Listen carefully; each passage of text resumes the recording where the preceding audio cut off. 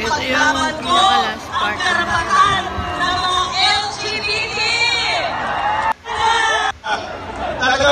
Yung kay Lauren Ricarda. Dahil Sobrang gusto kong makinig sa campaign rally ng Senator at nandito ho kayo para ipakita ang inyong pagmamahal sa ating susunod na Pangulo at susunod na Vice Presidente. Maraming maraming salamat po sa inyong lahat. Bago po magpatuloy na ko rin po ang ating former President Gloria Macapagal Arroyo.